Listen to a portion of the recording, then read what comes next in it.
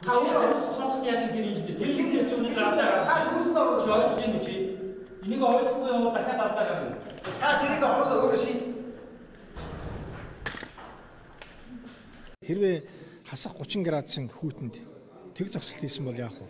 Ямар хэмжээний хохирол хүлээх вэ гэж бодох хэрэгтэй л доо. Жишээлбэл хичнээн айлын одоо халуун халууны асуудал, уурын асуудал, тэгээ дулааны асуудал. Тэгээ хичнээн үйлдвэрүүд одоо тэг зогсолт хийснээс ямар одоо хохирол хүлээв гэж.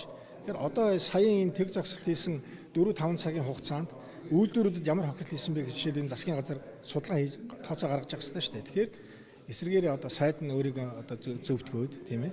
Ингээ явж байгаа туйлын одоо хариуцлагагүй сайд хүн бол ёс зүйн ёс зүйн хариуцлага хүлээж авах хэрэгтэй шүү дээ. Сайд хариуцлага хүлээж хамгийн том хариуцж байгаа нь мэдээж одоо тухайн газар нэгжүүд хариуцах хэрэгтэй.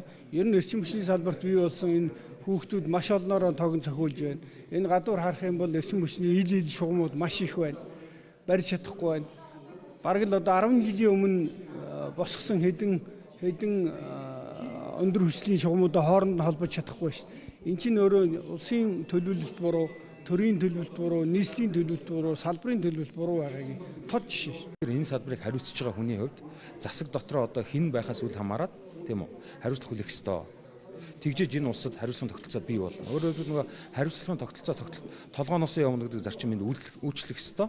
Тэрнээс ч одоо гэдэг нөгөө осол гарчлаа гэхэлэр тэр албаа хаагчийг хариуцж исэн нөхдүүд нь хариуцлах хүлээдэггүй. Тэр нөхдүүдийг томилсон усууд нь хариуцлах хүлээдэггүй. А эцсийн дүндээ төрийн ордон дотор гудамд явж байгаа юм шиг хоёр талдаа хэрэлдээд явдаг байж болохгүй. Тэгэхээр энэ бол манай одоо засгийн газрын ямар төвшөнд ямар хүмүүс тэнд ажиллаж байгааг илэрхий харуулсан ийм үйл явдал боллоо. Бид бол энэ дээр маш тодорхой хариуцлага хүлээх ёстой гэж гэдэг байр суурьтай байна.